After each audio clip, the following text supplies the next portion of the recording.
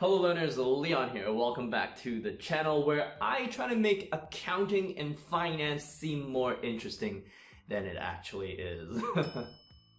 so yeah, anyways, today we want to go in and analyze our first real estate investment trust. Now, before that, important disclaimer, super, super important, so pay attention.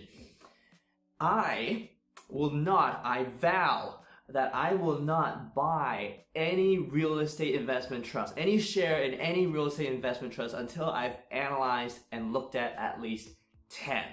Okay? And I'm doing this because I'm biased and to, to protect myself from my own biases, I need to just set a steadfast rule that I'm gonna stick to. I'm gonna look at enough and then I'll make a purchase, right? It's kind of like going to the supermarket like you want to buy pasta sauce or something and you walk into a superstore, you're on the aisle, you don't just oh, see pasta sauce and then pick it up and put it into your cart. I mean, maybe maybe some of you do if you're impulse buyers, but if you're a stock picker like me, then even when you're buying pasta sauce, you would go and look at the aisles and you would pick up each pasta sauce, right? Maybe one per hand. And you'd be looking at the nutrition labels, looking at the brands, um, trying not to fall prey to any marketing or packaging, which I always do fall prey to. You're seeing, you're looking at the color of the sauce, you're, you're kind of smelling the lid a little, and you're seeing how heavy they are, and then you're trying to figure out how much they cost, and then finally afterwards you settle for the 295 uh, oregano flavored uh, pasta sauce, and then and then you put the 351 back on the shelf, even though it's about uh, the same the only difference is when you're buying a jar of pasta sauce, in general, you're spending between two to five dollars if you're super, super into that stuff. But in general, if you buy a stock, you're spending a couple thousand dollars. So you should probably spend more time picking and analyzing and looking at different stocks than you do browsing the store for pasta sauce. God, I'm hungry right now.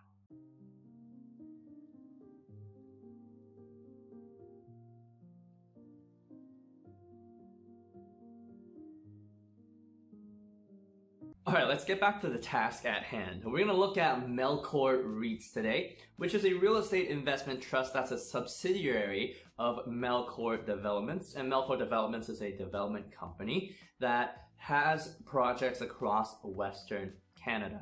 The company Melcor Developments itself was founded in 1923, which means the company has almost a hundred years of history. It's got some intriguing numbers. It has a market capitalization of $105 million, which effectively makes it a small cap stock. Currently, the company pays a 8.5 dividend yield at its current price um, on an operating cash flow of $10.5 million a year. At the same time, it's got a book value of $15 per share, but is only currently trading at $8 per share. That's a 0.52 price to book ratio, which says two things. Either the stock itself is underpriced, or the assets that the real estate investment trust owns are underperforming assets that really aren't worth even their book value. The CEO of the company's name is Darin Rayburn, and he's been in the industry for over 20 years. In fact, the CEO of this REIT is also the CEO of Melcor Developments. Okay, and the REIT itself has its hand in residential, commercial, as well as industrial real estate, with a focus definitely on the residential and commercial side. With that, we can kind of call it a diversified real estate investment trust. Since becoming public in 2013, the company has never missed its monthly dividend.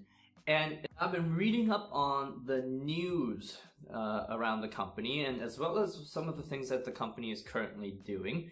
And I think I have enough reason to believe that its management believes that the current share price on the market is underpriced, that the stock right now for Melcor REITs is undervalued. Why do I say that? So the reason I bring this up is because recently Melcor Development decided to buy back the shares of Melcor REITs for a 1.5% premium on the market price of the share.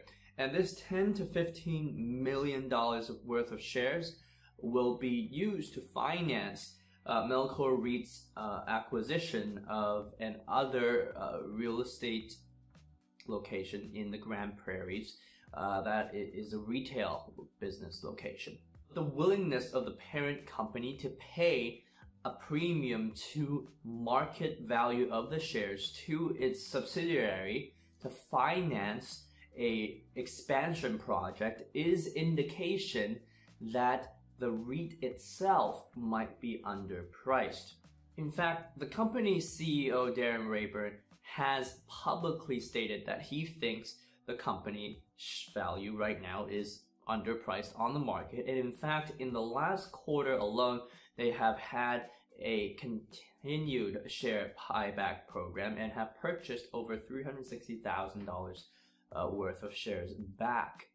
Not only that, the company has also recently issued convertible debentures. And what convertible debentures are, are a type of debt that also gives you the option of changing the principal into actual shares of the company uh, at a later time when the debt is due um, at a certain price per share.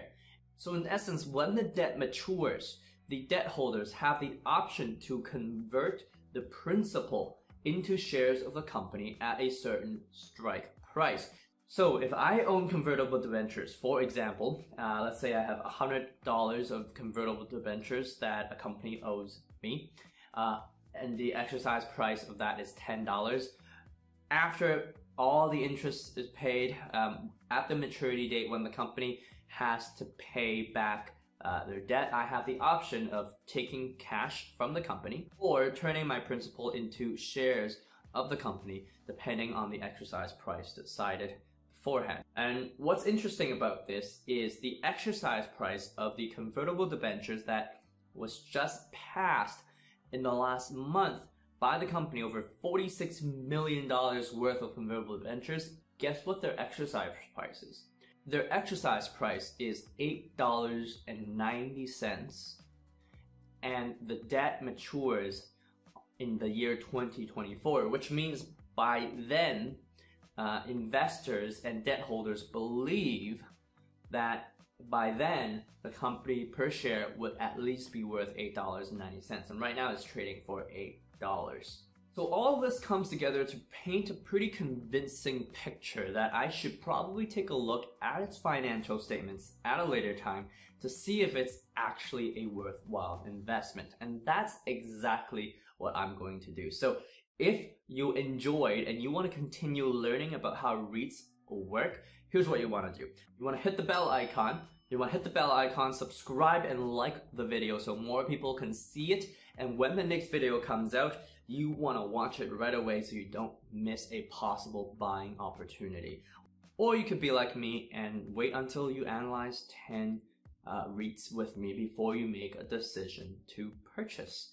Regardless, I hope this helped you and you learned something from this video, whether it's just one thing or the fact that I like Tim Tams or, or, or pasta sauce. Whatever you learn, I hope that I can see you again in the future. Well, I guess you'd be seeing me in the future because I'm just, I'm looking at a camera right now.